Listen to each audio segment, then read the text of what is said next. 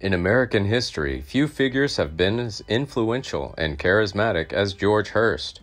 Born in 1820, Hearst rose from humble beginnings to become one of the Old West's most prominent millionaires.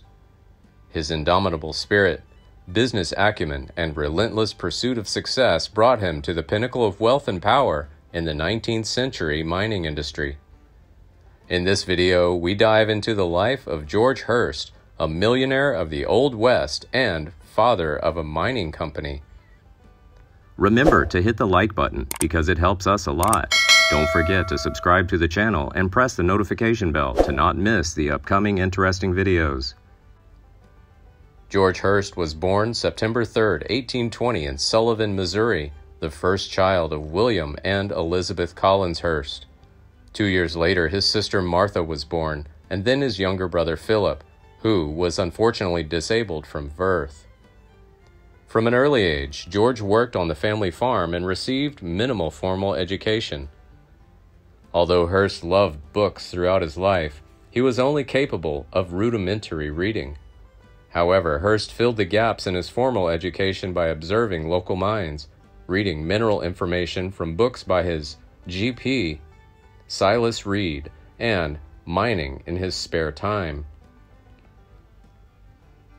At the age of 26, George faced a major test. His father, William Hearst, died, leaving behind a large debt from creditors. Without hesitation, George shouldered the responsibility of taking care of his disabled mother, sister, and brother. Not long after, George embarked on a series of ventures that greatly increased the profitability of his farm. In addition, he also ventured into the commercial sector by opening a small shop and renting out some potential lead mines. These mines, known as the oldest economic activities in the country, have been active in the Missouri area since 1715. George's passion for mining dates back to his childhood and the purchase of a lead mine prompted him to delve deeper into mining. Under George's wise management, the mines flourished, yielding a great deal of lead and copper. In just two years, he successfully settled his late father's debt. By 1850, George had earned enough to support his family. It was at this point that he announced his intention to go to California to consider mining for gold.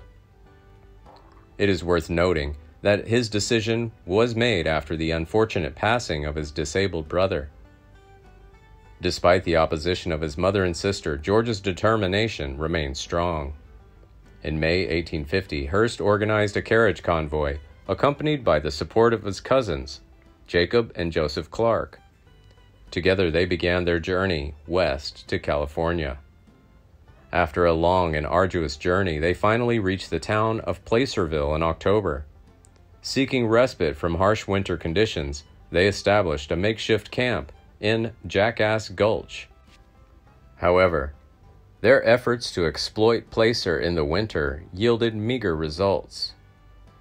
When spring came, they decided to move to Grass Valley, California. It was in this picturesque spot that they stumbled upon an abundant gold bearing quartz deposit at a site known as Gold Hill. Then Hearst's luck came when he stumbled upon a quartz quarry overflowing with gold between Grass Valley and Nevada City.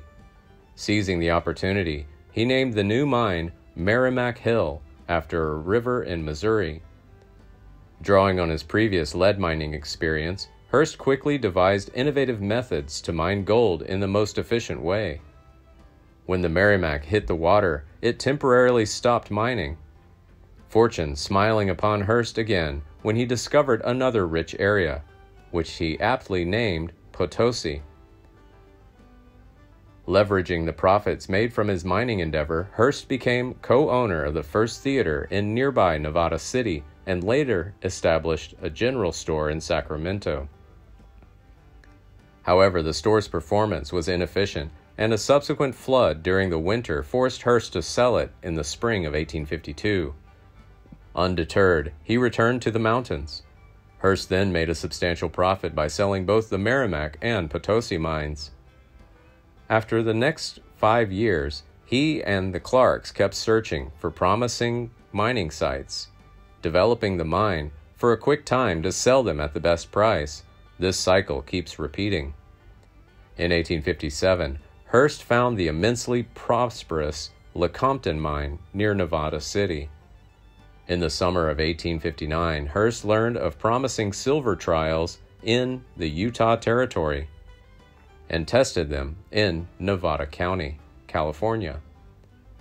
Hearst rushed to Washoe County in the western part of the Utah Territory, where he arranged to buy one sixth of the profit of the Ophir mine there, near present day Virginia City. That winter, Hearst and his partners mined 38 tons of high grade silver ore, drove it across the Sierra on mulebacks, smelted it in San Francisco, and made $91,000 in profit, or about $3.3 million at 2023 dollar prices. When the first batch of silver was smelted from Ophir, it created the Washoe fever as thousands of miners flocked from California to Nevada. Soon the whole area was known as the Comstock Lode.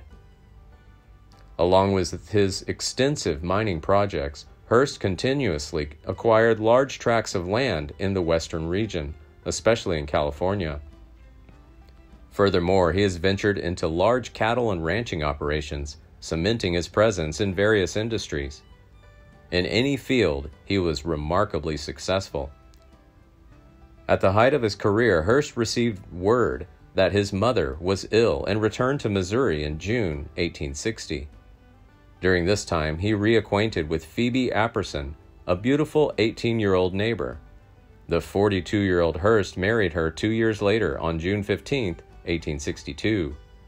That same year, Hearst and his new bride moved to San Francisco, where they lived at the Lick House, a popular hotel. The couple then had a son on April 29, 1863, William Randolph Hearst. As George continued to tackle his mining business, Phoebe remained in San Francisco. Despite his lack of any prior political experience, Hearst's abilities were recognized and he was nominated to the State Assembly as a Democrat in 1865. Representing San Francisco, he began a two year term. During his tenure, he made a key acquisition, the 48,000 acre Piedra Blanca Ranch in San Simeon, California. In addition, he acquired several adjoining farms that later became the famous Hearst Castle. In 1875, when news of the discovery of gold came from the Black Hills, Hearst's interest was piqued. The fact that the Manuel brothers discovered a large gold mine in what would soon become Lead's Gold Camp prompted Hearst to send someone to investigate.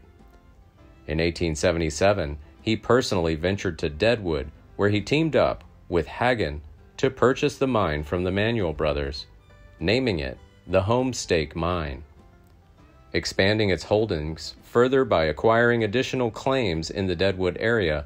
Hearst quickly transformed the mining operation into a thriving commercial venture. His activities in the area have earned him the title of the largest producer in the Black Hills and a leading contributor to the U.S. gold production.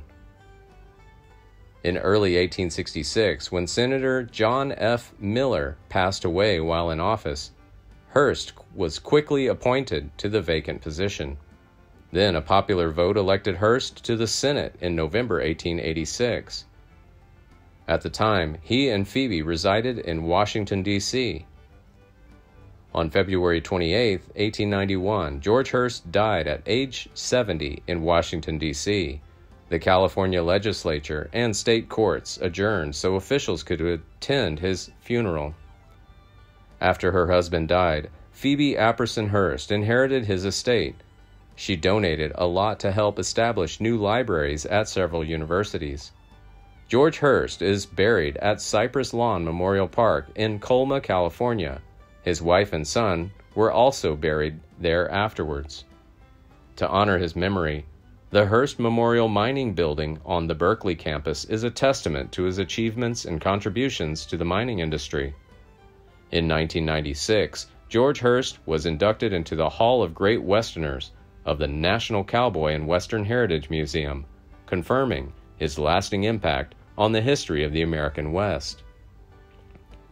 Please like and share if you find the video content interesting and useful.